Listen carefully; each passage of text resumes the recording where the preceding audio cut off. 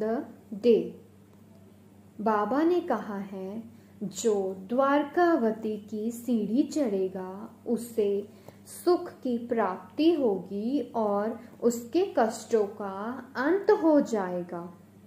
ओम Sai Ram. Team Sai Puja की ओर से मैं प्रीति आप सब भक्तों को शत शत प्रणाम करती हूँ और साई पूजा चैनल पर आप सबका स्वागत करती हूँ। टीम साई पूजा आप सबके लिए लेकर आई है बाबा के परम भक्त। आज हम जानेंगे बाबा के परम भक्त डॉक्टर पिल्ले जी के बारे में और जानेंगे कि उनके जीवन से हमें क्या शिक्षा मिलती है। तो आइए शुरू करते हैं। डॉक्टर पिल्ले बाबा के एक निष्ठ भगत थे। इसी कारण बाबा उन पर अधिक स्नेह रखते थे और उन्हें सदा भाव कहकर ही पुकारा करते थे तथा हर समय उनसे वार्तालाप करके प्रत्येक विषय में परामर्श भी लिया करते थे। उनकी सदैव यही इच्छा रहती थी कि वे बाबा के समीप ही बने रहें। एक बार डॉक्टर पिल्ले को नासूर हो गया। वे काका साहिब दीक्षित से बोले कि मुझे असहनीय पीड़ा हो रही है और मैं अब इस जीवन से मृत्यु को अधिक श्रेष्ठकर समझता हूँ। मुझे ज्ञात है कि इसका मुख्य कारण मेरे पूर्व जन्मों के कर्म ही हैं। जाकर बाबा से कहो कि वे मेरी यह पीड़ा को अब दूर करें।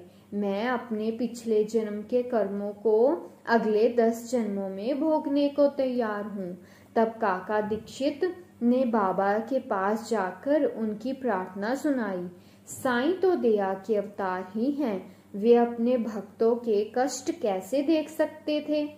उनकी प्रार्थना सुनकर उन्हें दया आ गई और उन्होंने दीक्षित से कहा कि पिल्ले से जाकर कहो कि घबराने की कोई आवश्यकता नहीं है। कर्मों का फल दस जन्मों में क्यों भुगतना पड़ेगा? केवल दस दिनों में ही गत जन्मों के कर्म फल समाप्त हो जाएँगे। मैं तो यहाँ तुम्हें धार्मिक और आध्यात्मिक कल्याण के देने ही आया हूँ। प्राण त्यागने की इच्छा कदपि ना करनी चाहिए। जाओ पीठ पर लाद कर उन्हें यहाँ ले आओ। मैं सदा के लिए उनका कष्टों से छुटकारा कर दूँगा। तब उसी स्थिति में पिल्ले को वहाँ लाया गया। बाबा ने अपनी दहनी और उनके सिराने पर अपनी गादी देकर सुख से लिटाकर कहा कि इसकी मुख्य औषधि तो यह है कि पिछले जन्मों के कर्म फल को अवश्य ही भोग लेना चाहिए। ताकि उनकी सदैव के लिए उनसे छुटकारा मिल जाए। हमारे कर्म ही सुख दुख के कारण होते हैं। इसलिए जैसी भी परिस्थिति आए, उसी में संतोष करना चाहिए। अल्लाह ही सबको फल देने वाला है। ऐसा विचार कर सदैव उनका ही स्मरण करो। वे ही तुम्हारी चिंता को दूर करेंगे। डॉक्टर पिल्ले ने कहा कि नाना साहिब ने मेरे पैर पर एक पट्टी बांधी है। परंतु मुझे उससे कोई लाभ नहीं पहुँचा। नाना तो मूर्ख है, बाबा ने कहा। वह पट्टी हटाओ, नहीं तो मर जाओगे।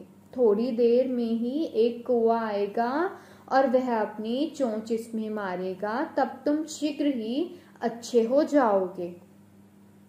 जब यह वार्तालाप हो ही रहा था कि उसी समय अब्दुल जो मस्जिद में झाड़ू लगाने का काम किया करता था और दिया बत्ती आग स्वच्छ करता था, वहाँ आया। जब वह दिया बत्ती स्वच्छ ही कर रहा था तो अचानक ही उसका पैर डॉक्टर पिल्ले के नासूर वाले पैर पर जा पड़ा।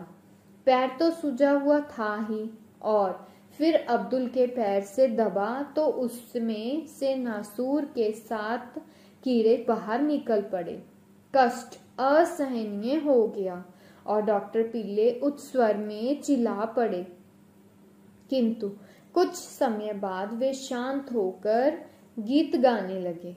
फिर डॉक्टर पिल्ले ने पूछा, वह कोआ कब आएगा और चौंच कब मारेगा? बाबा ने कहा, अरे, क्या तुमने कोए को नहीं देखा? अब वह नहीं आएगा, अब्दुल जिसने तुम्हारा पैर दबाया, वही तो कोआ था। उसने चोंच मारकर नासूर को हटा दिया। वह अब फिर से क्यों आएगा? अब जाकर वाड़े में विश्राम करो। तुम शीघ्र ही स्वस्थ हो जाओगे जाओगे। ऊधी लगाने और पानी के साथ पीने से बिना किसी औषधि या चिकित्सा के वे दस दिनों में निरोग हो गए, जैसा कि बाबा ने उनसे कहा था। ओम साई राम। तो आज हमें डॉक्टर पिल्ले जी के जीवन से क्या शिक्षा मिली? हमें यह शिक्षा मिली कि केवल हमें अपने हर सुख दुख में बाबा पर विश्वास और श्रद्धा रखनी चाहिए।